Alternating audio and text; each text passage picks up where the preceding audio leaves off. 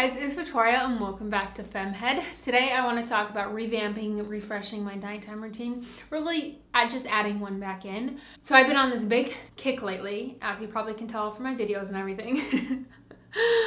but I have been making some small yet big changes that have had a very positive impact on my life and I'm gonna share that with you. I'm almost done with it but did like a 30 day morning challenge. It's just gonna carry on because it's just been so good and I really have enjoyed my time in the morning to just drink a hot cup of coffee, move my body, journal. And it was just like I looked forward to it so much that I was like, you know what?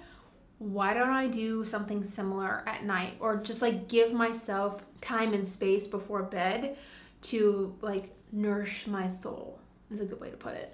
So that's what I did. I looked at the things that I missed from before having Theo and I was like, how can I fit that into my night? Michael and I had gotten into a habit of watching like Netflix or a movie or something right up until like 9.45 and then going, you know what, I should probably go to bed, so let's go like brush our teeth and crawl into bed. And then expecting your brain to switch off and just go to sleep. it's not how it works, turns out. So I was just sleeping terribly. I was just tired. It took me a long time to fall asleep. And like while I like having time to like relax and decompress with Michael and spend some time with him when it's just the two of us, I knew that I, I needed to stop technology at a certain point before bed to actually be able to fall asleep and sleep well throughout the night. So Theo usually goes to sleep around 7.30 and that's when my night starts and I'll just take you through what I do. So I find the best time for me to like do the final clean of the day is right after Theo goes to sleep. Like if I go and watch TV first and then try to clean up, it just it's not gonna happen. I know I'm just like while I'm still moving, that's when I have to clean up. So we will clean up from dinner. That's when I will start the load of dishes. I pick up his toys. I do a final like little pick up the clutter, clean up. That way the house is clean in the morning and there's nothing more satisfying than waking up to a clean house. Like I always like just give myself a pat on the back in the morning because it's just so calming to start your day in a clean house. I can't recommend it enough.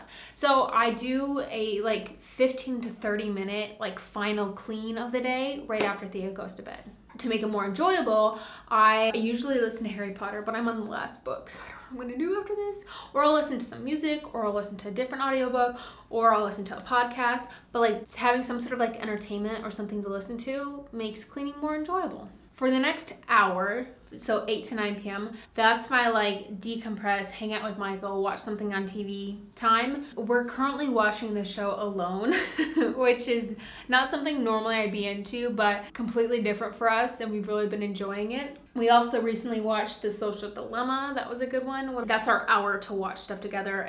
A great way to decompress, spend some time together, um, get your technology fixed before you shut it all off. But then once 9 p.m. hits, it's goodbye TV, goodbye computer, goodbye phone, like goodbye technology. You're just done with it. I'll listen to some stuff while I get ready for bed, but no more social media, no more YouTube, no more Netflix. Setting yourself a time of like get off of technology, and I recommend like an hour before bed is just so helpful in actually falling asleep, sleeping well, and all that good stuff. So 9 p.m. is mine because I like to go to bed at 10 because I get up at 6. I make myself a nice cup of jasmine tea, so take it upstairs with me, and I do my skincare next hmm. before I just like brush my teeth and go to bed.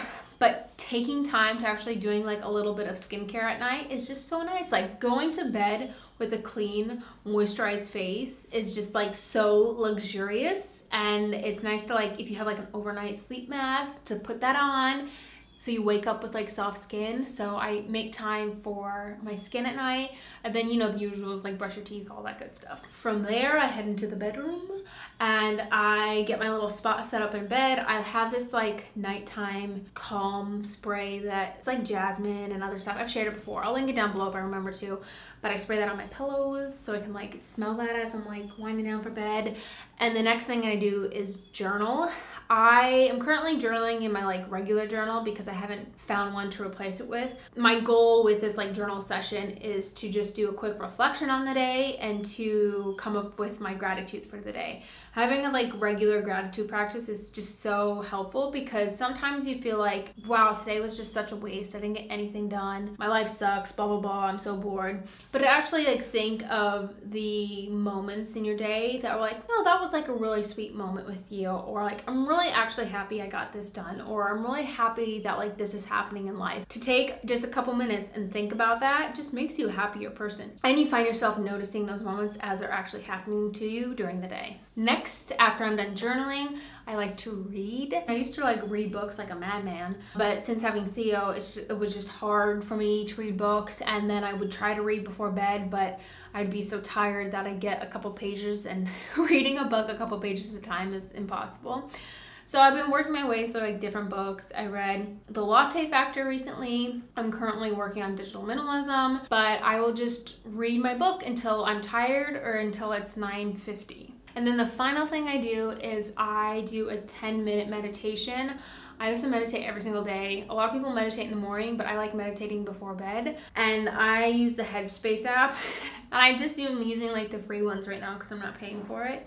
But it's so funny because every meditation is like, you know, find a comfortable seated position with your feet on the floor, like your back straight. And I like have my face mask on and I'm like curled up in bed, like the opposite of what you're supposed to do, but that's my like happy place and that's how I like to meditate. And so I'll do my 10 minute meditation and either I'll fall asleep, which I know you're not supposed to, but I do, or I'll finish it up. I already have my sleep mask on and I go to sleep.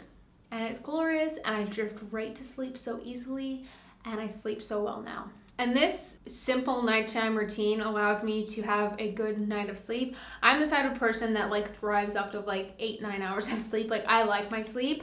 And then I'm able to wake up at 6 a.m. and feel like refreshed and ready to go for the day instead of feeling like I got ran over by a bus refreshing a routine or adding in a routine doesn't have to be complicated or fancy. It doesn't have to be 20 different steps. It doesn't have to be expensive or luxurious. God, my nose really itches right now. Just changing one thing can make a world of difference. Just getting off of technology an hour before you go to sleep, looking at the things that you really enjoy doing and feel like you're good for your like body and mind and soul are great for a nighttime routine. And maybe it's just reading a book before bed. Maybe that's the one change you add in I think that would have such a positive impact. I think everyone should take a moment, even if you don't write them down, to just sit and think of your gratitude from the day. Even if it's just one thing you're like grateful for, think about it. I highly encourage you to look at the hour before bed and what you're spending your time doing. And I understand that like sometimes it's a luxury to have time to like relax and decompress and like journal before bed. Like I understand there's people that are working multiple jobs and have a lot of kids and they have so many different responsibilities, they don't have time for this. Um, but for the rest of us out there that have that privilege, take the time to look at what you're spending your time doing before bed. Do you go to bed feeling like positive and relaxed and refreshed, or are you depressed and antsy and unhappy because you've just spent it on social media comparing yourselves to others without even like really meaning to but i still use social media i still love social media but if I like waste away time just like scrolling through it, I always end up feeling like like I've wasted my time.